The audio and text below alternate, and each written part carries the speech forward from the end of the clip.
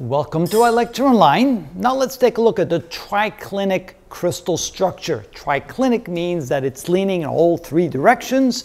That means that none of the angles alpha, beta, gamma are equal to 90 degrees.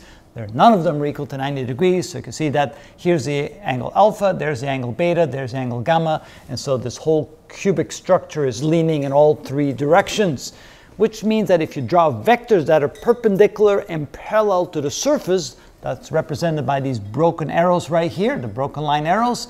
You can see this would be perpendicular to the surface, which is not parallel to the z-axis. This is perpendicular to the surface, again, not parallel to the y-axis. And this is perpendicular to the surface, again, not parallel to the x-axis. And then, of course, these two other vectors that are then lying in the plane of the surfaces, again, they're not parallel to the x or the y-axis or the z-axis in any way.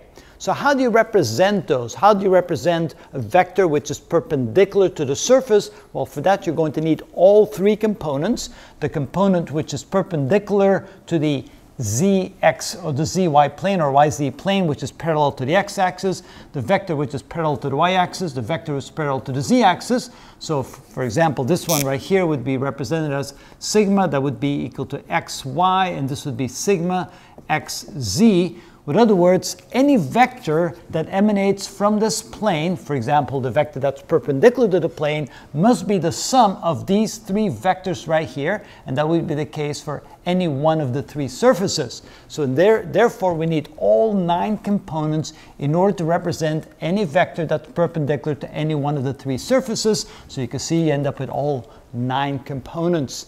And that's, so in other words, if we want to represent the vector which is perpendicular to this plane right here, for example, this vector right there, well, you're going to need all three components right there. That would be sigma uh, 1, 1, sigma 1, 2, and sigma 1, 3. So you would need all three components here to represent this particular vector which is perpendicular to the surface.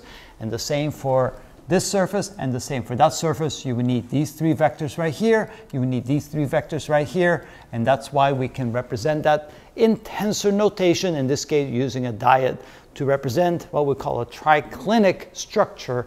Um, and that's the best way to represent it. That's how it goes.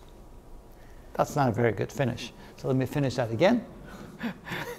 so the best way then to, to represent the structure right here via tensor is to say that we can represent any perpendicular vector of any one of the three surfaces by the combination of the three vectors on each side in the x, the y, and the z direction in terms of the three vectors that are parallel to the x, the y, and the z direction. That's how it's done using tensors.